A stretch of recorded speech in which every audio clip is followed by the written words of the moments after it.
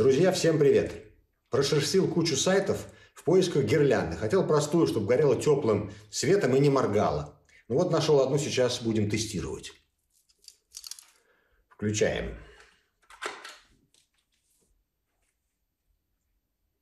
Не нравится. Тоже не нравится. Вот чтобы спокойно просто. Вот. Так нравится. Вернусь сегодня после съемок домой, и темный дом встретит меня роскошной гирляндой. Увидимся в студии.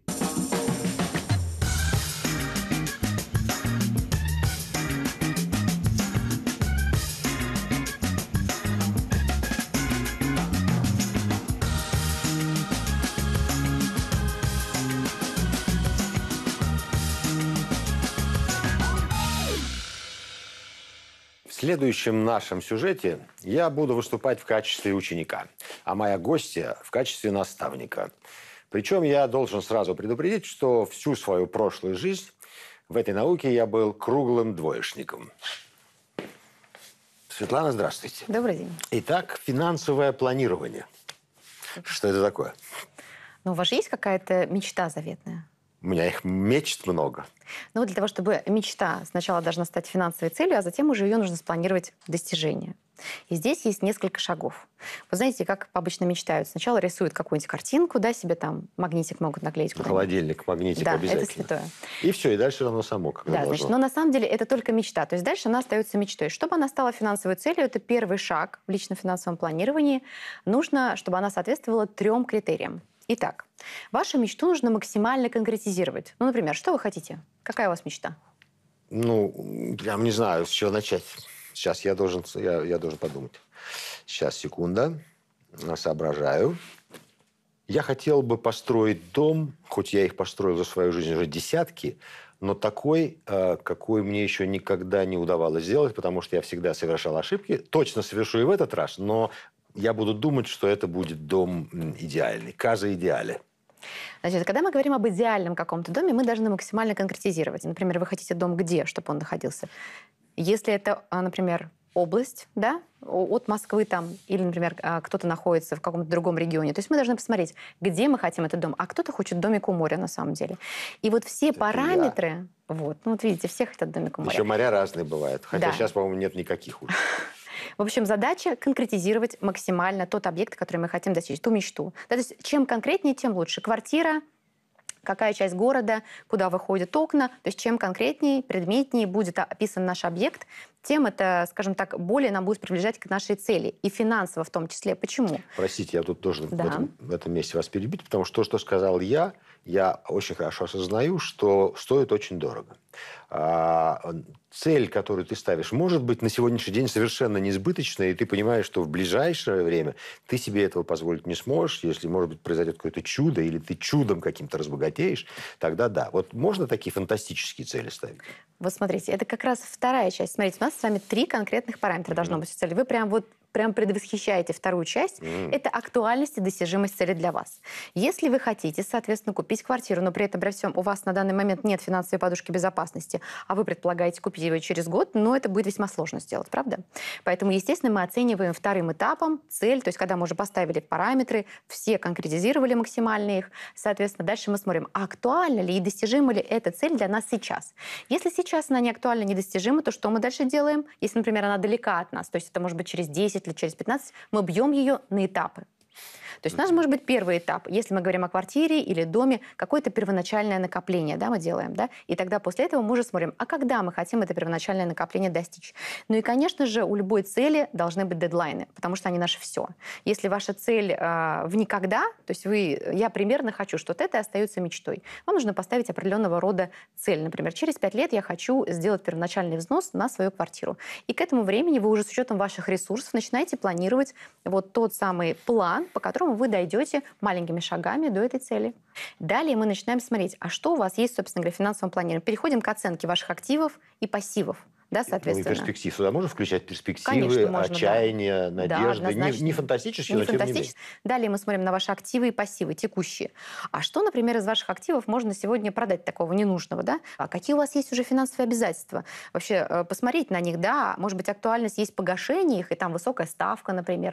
То есть дальше мы начинаем балансировать наши активы и пассивы. То есть может оказаться, что есть уже сегодня что-то, что приблизит эту цель, если с этим, например, проститься или, в всяком случае, ну, а, трезво оценивать нужность или ненужность того, той или иной части своего владения. Конечно Ну, же. конечно, бросить что-то, и это сразу уже сразу тебя приближает. Более того, в большинстве случаев мы должны с вами смотреть на цель как на актив. То есть вот ваш домик у моря. Активом он будет только тогда, когда он будет вами использоваться. Если он не будет использоваться на 100%, например, вы собираетесь приезжать туда несколько раз в год, то теоретически вы можете запланировать сдачу его в аренду. И это тоже будет приносить вам доход. Понимаете? То есть актив – это то, что приносит нам доход. И ни в коем случае не пассив, который стоит там, не знаю, годами, месяцами и не используется. Дальше идем на наш активный доход, смотрим, какие вообще у нас доходы есть, соответственно, и смотрим на наши расходы. Составляем тот самый план с учетом наших активов и пассивов.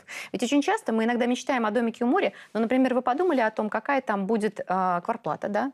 То есть особенно если это апартамент, она будет выше. А какие там будут налоги? А запланировали мы это все в бюджете в нашем? То есть вы купили домик у моря, надо учесть возможность получения имущественного вычета. Если вы его купили в ипотеку, то, соответственно, тоже есть соответствующий вы- вычет, например, по процентам в рамках ипотеки. То есть все это возможно учитывать. Ну, это здорово. Тут, правда, нужно сделать очень важный шаг для себя решить, хочешь ли ты достигать этой цели. Ну, Но наверное, это уже вопрос личный. как. Совершенно верно.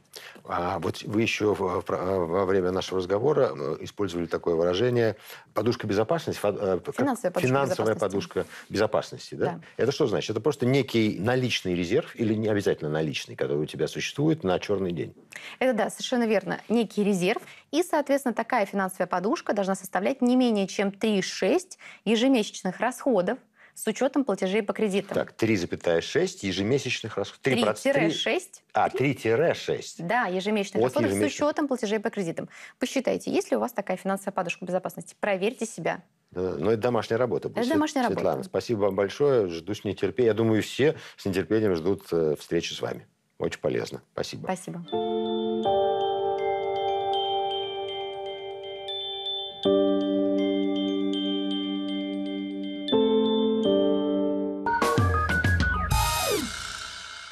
Разными важными делами занимается мой следующий гость.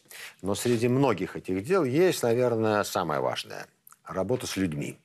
Мы давно знакомы, и я до сих пор не удосужился спросить его, а как дела на работе? Александр, здравствуйте. Здравствуйте. Вы равин. Что это значит? А, Равин – это, с одной стороны, звание. А, Как есть, например, э, человек, который закончил учебное заведение получил диплом. Кто-то инженера, кто-то еще кого-то. Я в этом смысле получил диплом равина. Это некий титул, звание. А Второе – равин – это работа. Есть принципиальное отличие между званием и работой. Как э, э, человек имеет диплом один, а работает, можно работать любым, заниматься любым делом, э, иметь диплом раввина. Я в данном случае э, тоже работаю и раввином, и тоже у меня есть другие должности в еврейской общине. Но одна из них – это раввин. Ну вот э, именно э, раб- работа раввином, это правильно, да, вот слово сейчас Ну, можно сказать, да? Да, А служение, в чем, она, в чем она состоит? Если говорить о раввине синагоги, то, безусловно, э, это в первую очередь организация всего всей молитвы и всего процесса жизнедеятельности синагоги. Э, Все, что касается с, не только с организацией молитв, с проведением э, их молитв, проведение различных обрядов, так или иначе связанных либо с молитвой, либо с тем, что имеет от жи- жизни человека. То есть если участие там, в обрезаниях младенцев, э, бармитсвы, хупа, это свадьба, ну, по еврейскому обряду, э, ритуальные мероприятия. Это все, безусловно, имеет отношение к понятию равин. И э, это как бы внутри молитвенной службы, но это отдельно. Это другая работа в, э- этих рамках. Это то, что мы говорим о такой вот, э, как бы, выполнении функции равина в рамках э, еврейской традиции. И э, реализация этой традиции – это э, говорить законы, как это правильно делать, контролировать, чтобы это правильно делать, и главное, что организовывать эти все процессы. А, Кроме этого, есть и некое, ну, не некое, а большое общение с людьми, которая находится и в рамках еврейского закона, и в рамках тех реалий жизни, в которых мы находимся. А вот что это значит? Могут ли к вам приходить люди, вернее так, к вам приходят люди за какими-то неразрешенными религиозными вопросами или с бытовыми в том числе, вот в семье что-то не ладится и так далее? Приходят с самыми разными вопросами. Все, что угодно. Я бы сказал, что нет того вопроса, которым не приходят.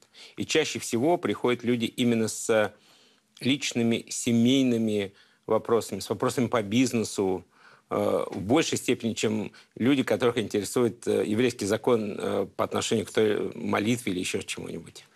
А, кстати, а кто к вам может прийти? Любой человек. Вообще, не, независимо от вероисповедания, Независимо. верующий атеист и так далее. Вообще да, не да. имеет значения. Не имеет значения. И мужчины, и женщины, да. и, в общем, то есть вообще здесь нет ни, никаких ограничений. Никаких ничего. ограничений нет.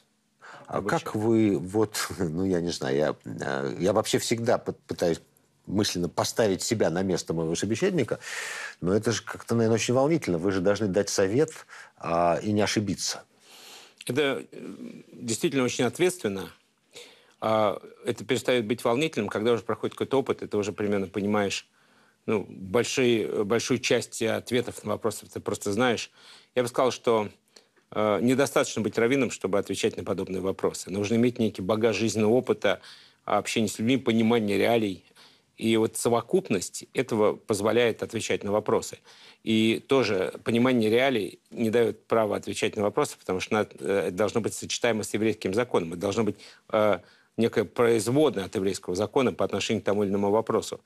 Э, с одной стороны. И, или это вопросы просто понимания психологии, когда речь идет о взаимоотношениях, например, мужа и жены, каких-то конфликтах семейных, взаимоотношениях отцов и детей. Э, и взаимоотношения, в принципе, между партнерами в бизнесе, там столько психологии, там уже финансы вторичные, а именно психология либо конфликта, либо каких-то там проблем, следствием которой является бизнес, а причина это в ментальных э, вопросах, э, психологических или еще каких-то. Здесь, безусловно, это э, соединение жизненного опыта с опытом Торы. И без опыта Торы сделать нельзя, потому что в Торе Э, в других книгах, как в Талмуде, в философии иудаизма, э, достаточно подробно разбираются многие психологические вопросы и даются на них ответы. И когда ты смотришь ты на какую-то ситуацию, ты уже ее смотришь с точки зрения призмы тех знаний, которые ты получил, конечно, помноженный на жизненный опыт. И очень важно понимание реалий. Вот, э, э, нужно понимать очень хорошо э, менталитет, э, законы страны, Э, в целом правоприменение этих законов здесь, чтобы не дать человеку неправильный совет, потому что ну, совет должен быть э, не только, не только правильный, он должен быть умный. Вот это очень важное добавление, потому что правильных ответов бывает количество, но он должен быть практичный для этого человека. И здесь ну, нюанс. Ну вот смотрите, вы раввин. А, а вам кому пойти, если нужно обсудить? С Я как раз у меня есть мой друг, э, тоже раввин, когда у меня есть некое понимание ситуации моей, что мне делать, то мне недостаточно моего понимания, я хочу понимать со стороны. Э, бывают вопросы, в которых я заинтересован, и мое, соответственно, не, понимание не является абсолютно чистым, и мне нужно понимание человека, который не, не внутри процесса, например. У меня есть друг, которого я часто спрашиваю, ну, часто, не часто, в зависимости, когда есть такая потребность, я к нему обращаюсь. Бывало ли у вас так, что вы говорили «не знаю»? Бывало, когда я давал несколько вариантов, в зависимости от того, что люди хотят. Сказать вот совсем не знаю не было. Ну или чувствовали такое, что не знаю, ну просто, да, вы должны, вы давали дополнительные варианты, но понимали, что вы просто, ну... Э, есть вопросы, в которых мне нужно посоветоваться. То есть э, вопросы, которые касаются сложных взаимоотношений между например, партнерами в бизнесе. То есть вы можете взять какой-то тайм-аут да. и, и, и следующая встреча да. или следующий... Да, там... это уже не вопрос психологии, а это вопрос э, углубленного знания еврейского закона по разным имущественным вопросам. Mm-hmm. И здесь нужны профессионалы и э, люди, которые именно этим занимаются. А Равин и Рэб – это одно и то же? Или тут есть какие-то нюансы? Большие нюансы. А в чем а, разница? Вообще, раввин это вот звание, это должность, это а Рэбе э, – это вообще обращение к уважаемому человеку. Но он должен быть мудрым для меня. То есть Рэбе, да. ну, в нашем да, бытовом понимании... Уважительное это... отношение к религиозному человеку, который старше, мудрее и так далее. Это одно. А второе Рэбе – это некое звание, например, лидер хасидского движения, тоже называется Рэбе. Это однокоренные слова с раввином? Да. Это... Смысле, а раввин и Рэбе э, чуть-чуть отличается. Угу. Смысл чуть отличается. Рэби это просто в первом случае уважительно, во втором это статус. Ну, да. а раввин это... В вашем случае это точно звание. Ну, как бы это уже да. данность. Да. А дальше уже... Да. Угу. Александр, спасибо вам большое за очень откровенный разговор и точно очень интересный. Я, во всяком случае, для себя много узнал про вас. Спасибо, спасибо. вам. Спасибо.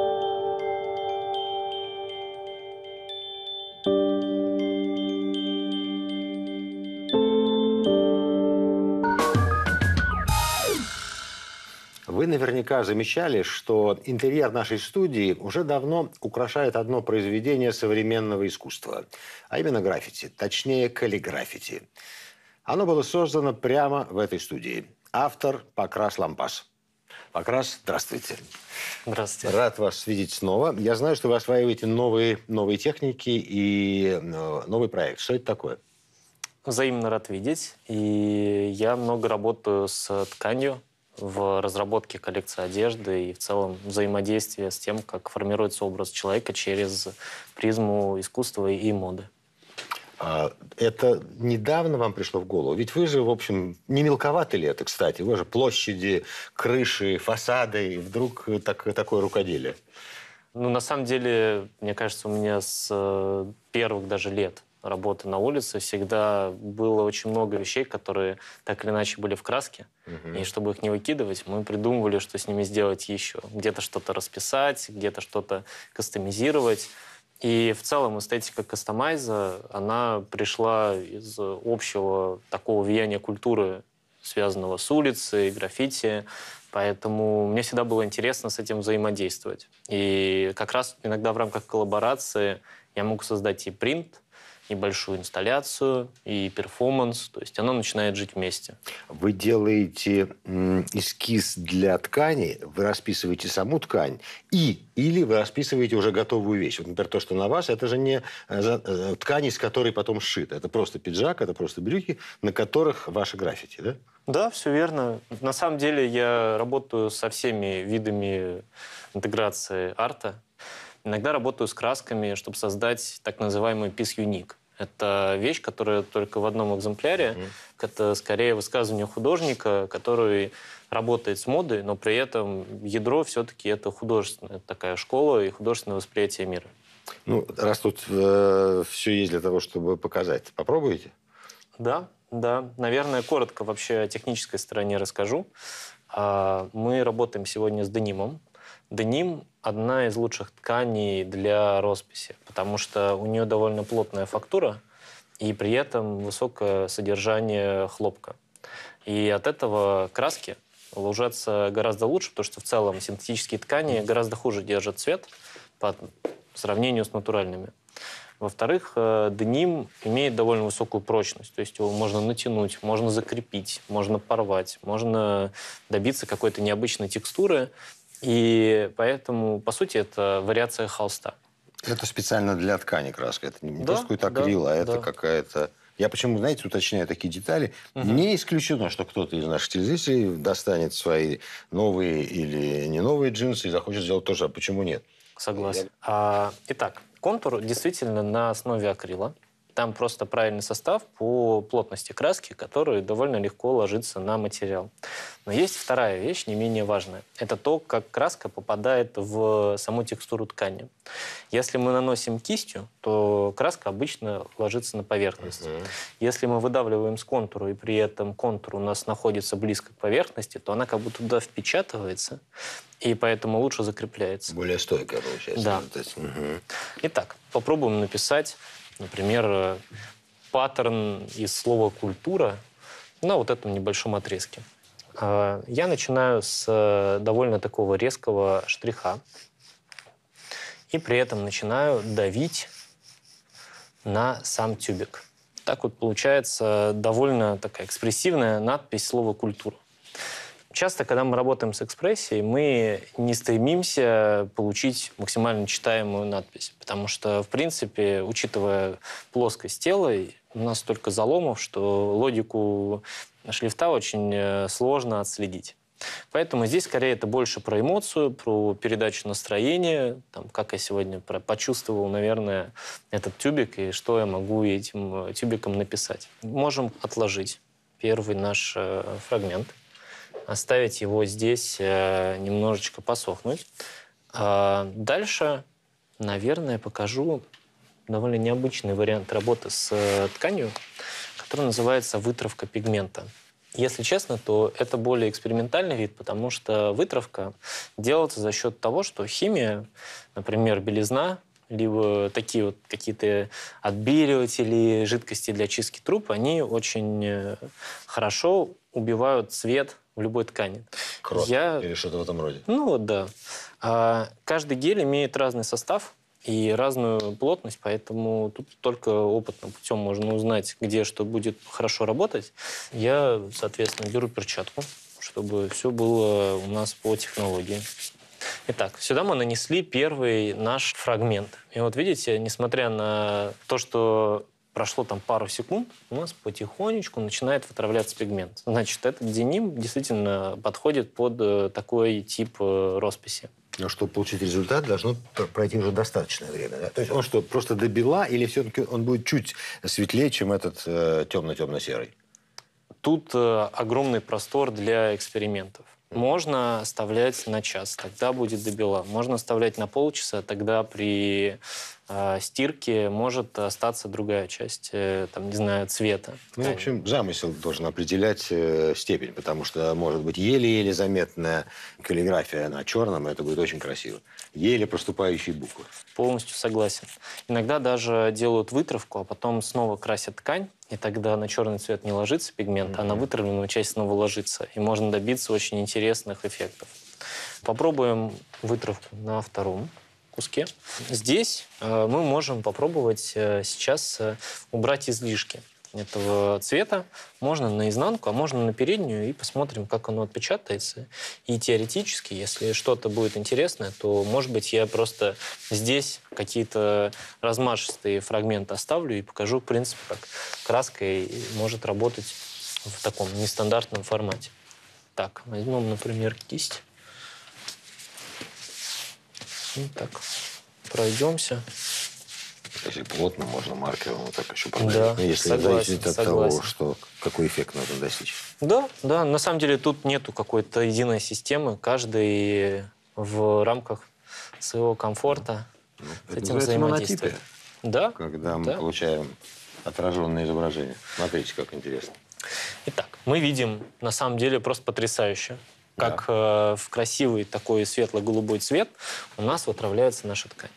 Мы сделаем, значит, две вытравки. Здесь напишем такой же паттерн, например, на голубой.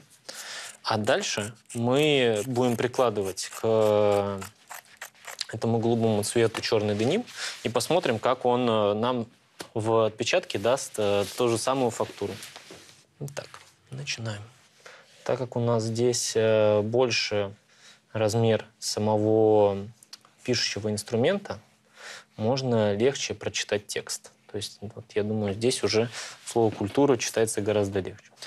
Так как у нас, в принципе, вытравка имеет свойство расползаться, можно делать довольно большие расстояния между буквами, потому что потом они все равно будут как-то сплетаться. Как быстро реагирует, видите, он сразу да, натравливает да. до голубого. Хорошая вытравка, значит. Это тоже не все химические составы позволяют добиться такого результата. Так, э, снова берем какой-нибудь инструмент, типа кисти, и начинаем прокатывать, в данном случае уже на нашем дениме. А после стирки и после высыхания вот этот голубой остается голубым, да? Но приблизительно этот цвет остается. Да, да. Иногда они могут взаимодействовать друг с другом. То есть вот здесь вот можно увидеть, как э, какие-то такие полупрозрачные пятна абстрактные получились. На самом деле выглядит очень эффектно, потому что это очень такая, я бы сказал, даже живописная техника. И одно удовольствие работать. Вот здесь, например, можно попробовать взять шприц какой-то из, э, не знаю, там, красных э, красок и попробовать пописать шприцом. Со шприцом тоже интересно работать. Э, честно говоря, всегда непредсказуемый результат. Э, поэтому не знаю, что получится. Ну, раз мы сегодня все тестируем, то мы увидим. Оно вот такой дает яркий довольно эффект. Ну и дальше, соответственно, можем взять и тоже кистью как-то эту краску раскатать, размазать, добавить какие-то необычные пятна. То есть можем увидеть, что, в принципе, когда там, я работаю с тканью, это всегда какой-то процесс импровизационный. То есть тут тоже получается довольно такая контрастная история. При этом, когда будет высыхать, что-то еще там уйдет по цвету, где-то как-то интересно впитается. То есть э, получается очень даже такой большой простор для экспериментов. Очень красиво. Ну да, здесь. А наверное, даже на просвет, смотрите, ведь он же даже Да, работает Вот, вот. на За просвет. это то я и люблю. И может быть даже на просвет разная плотность. Покрас потрясающе. Во-первых, я рад, что вы осваиваете новые пространства. Это здорово. Культуре повезло, что ее имя написали средством для прочистки труп. Это вообще сегодня, ну, как бы особый день в истории. Поэтому благодарен вам очень. Приходите, рассказывайте обо всем, что приходит вам в голову. Мы с огромным удовольствием э, все это будем показывать людям. Спасибо вам. Спасибо. Благодарю. Всегда рад.